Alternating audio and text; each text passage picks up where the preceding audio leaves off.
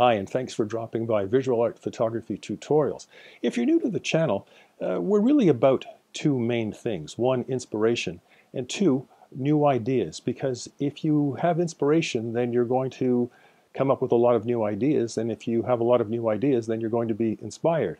And if you're inspired, you are going to use your camera a lot. And you're going to do a lot of shooting.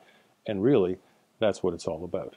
So today, we are doing Christmas cactus, only we're going to do it macro style. We're going to get really, really close. Here's a Christmas cactus here.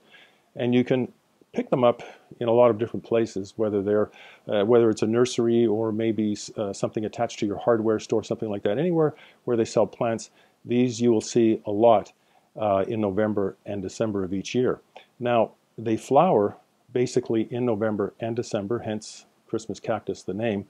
Uh, but they're really nice as just a standard cactus all year round. So today we're going to get in really close, and there's going to be a couple of ways we're going to do it. You're going to need a tripod, either a standard tripod or maybe a tabletop tripod. I'm using this, which is a tabletop easel. You don't have to use this, but you're going to see why I'm using it later on because I'm using it in tandem with this black velvet. This I'm going to be using as a background and I'm going to drape it over that easel that you just saw. Now, I like velvet because it absorbs light, but you don't have to use velvet and you don't have to use black. It's just a personal preference of mine. So, let's get going on macro photography, Christmas cactus.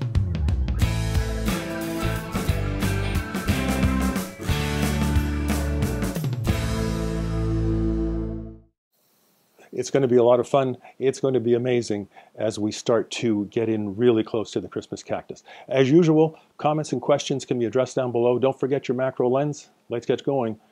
Macro Christmas cactus. So we have our camera set up on the tripod and we're going to be focusing on the LCD. Now, if you're not quite sure how to focus on the LCD, I have a great video on that alone, and it's going to be showing right up at the top there. Just click on that banner there if you don't know how to focus on the LCD. Okay, now you see the flower set up. You see the backdrop, that velvet, that black velvet that it's sitting on, and as we move up, we're going to see the black velvet as it sits on that easel, and it makes for a really nice uh, condition to shoot this in. So it's almost like a little bit of a warm-up shot as we just hone in and focus in on one flower. All right. And now you get an idea of what this beautiful flower actually looks like. It's very, very complex as we come down from the, the right hand side and uh, it goes into this very complex flower.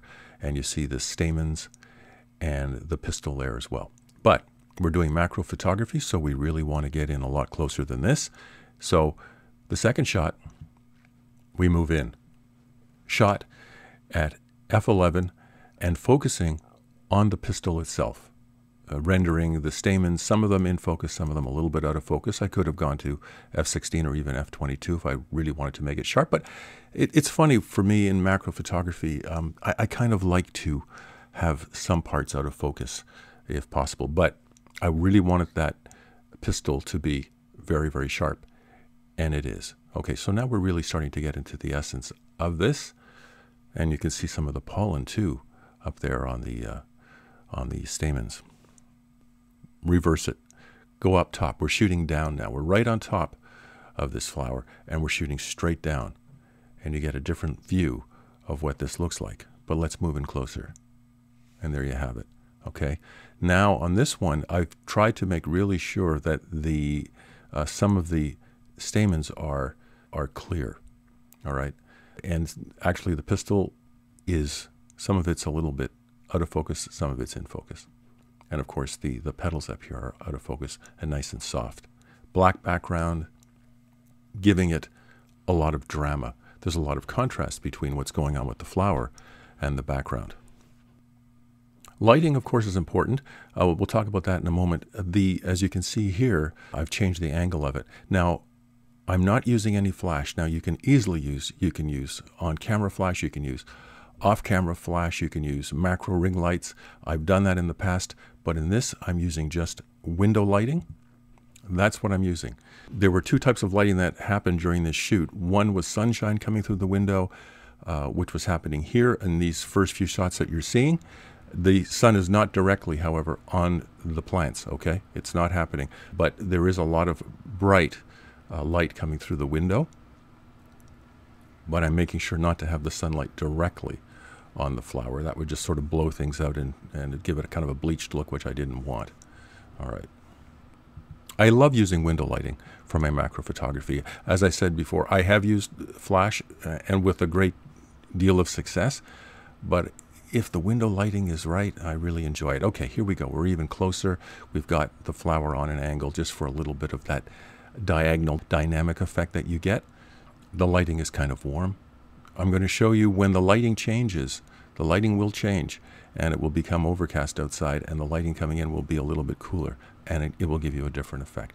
Okay, here's an earlier part of the plant. It's we were looking at it before in I think it was I think you can see it here actually okay and you can see it up there in here and now we're going to focus on it a little bit more here just for a, completely different look to the plant. This is shot at f2.8 the next one is at f11 and you see the difference in the depth of field here. All right. F11 and we move back into the a little bit further up the plant so that you get some of the green as well. F2.8. Again, I kind of like that soft effect. Okay, now, this is at F16. Believe it or not, but it's so close uh, to the to the to the flower that the depth of field is very very shallow, and all you're getting in focus is really just the tip of the of the pistil here. And that's what I wanted because it gives you a 3D effect, right? Look at that. It looks like it's coming right out at you. And you, you can see in the background, you, you know, these are the, the, uh, the stamens and things like that, and the flower itself, the petals in the background, really out of focus, really soft. But this thing coming right out at you, it looks like it's coming right out of the screen almost, right? And that's the three dimensional effect. Now, if you really want to enhance a three dimensional effect, turn the flower or turn your camera to the side and having have it come out at a diagonal like this. And you really get a three dimensional effect. It's almost, it's like it's reaching right out of the frame almost, right? And of course, I have focused right on the tip of the, of the, of the pistil. And I've shot this, not at f16. This is at, actually at f11. So eh, again, to taste, try it at f16. Try it at f22. Try it at a really shallow depth of field, at a really large aperture, say, you know, maybe f4 or something like that, and see how you like it.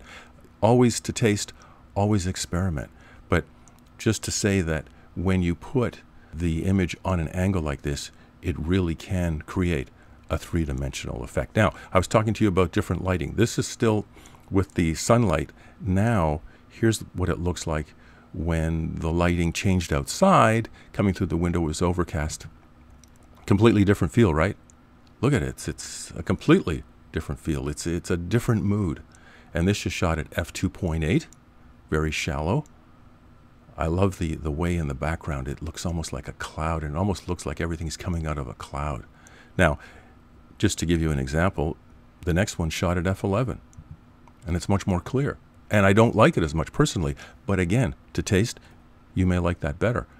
I prefer that it's uh, it's all up to the individual photographer, right? Always is, and that's the beauty of of this craft. Okay, straight on, focusing on the stamens, and you have all of these petals in the background. It's a completely different way of looking at it, a completely different treatment. Again, just really concentrating on the petals of this beautiful flower. I know there are a lot of you macro maniacs out there, and we're always amazed when we see something up close. It's just something that the naked eye cannot see, or at least can't see so incredibly clearly.